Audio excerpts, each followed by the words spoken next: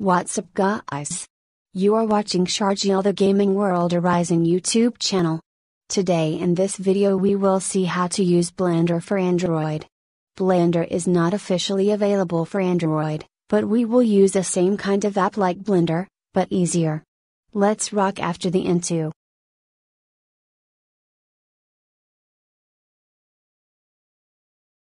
Download this app from Play Store, link in description. 3D Modeling App, also known as a Blender alternative for Android, is a 3D modeling app which is very easy to use and a time saver.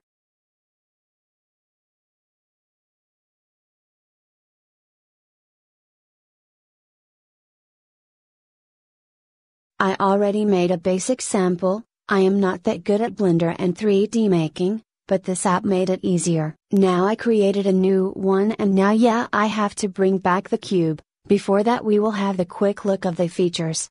If you press the more button or the triple dash button, here comes the mode you are using. File is where you create a new file or open a new one. Display contains what to display to you. Tutorial for beginners and guidance. Nothing much in settings just these boring stuffs. Here we have the working tools for the sculpture. We don't need to master all these available and tools if you want to make a normal blend, just have a glimpse on them, more features will be available in the upcoming update. All of the selection tools have subfolders or subdivisions. These are very helpful in detailed sculpting.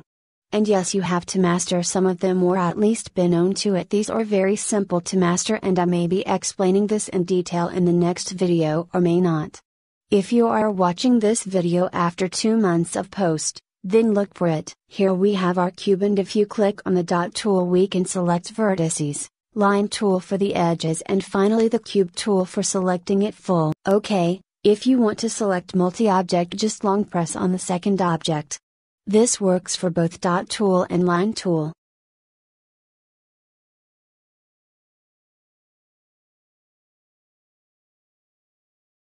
Look how easy is this. Just give it a try. Let's do a time lapse for some time.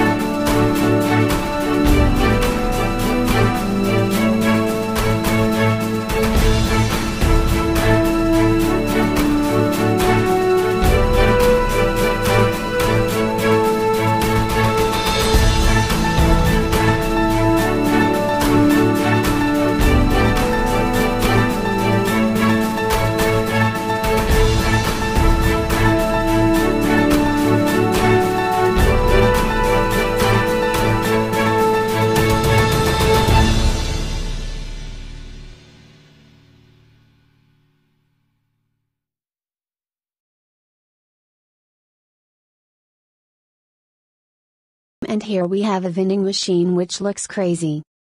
Now to reload the cube, just restart the tutorial again and zip to end. Thank you for watching make sure to like this video and share this with your friends. Don't forget to subscribe and comment on this video to earn a shout out.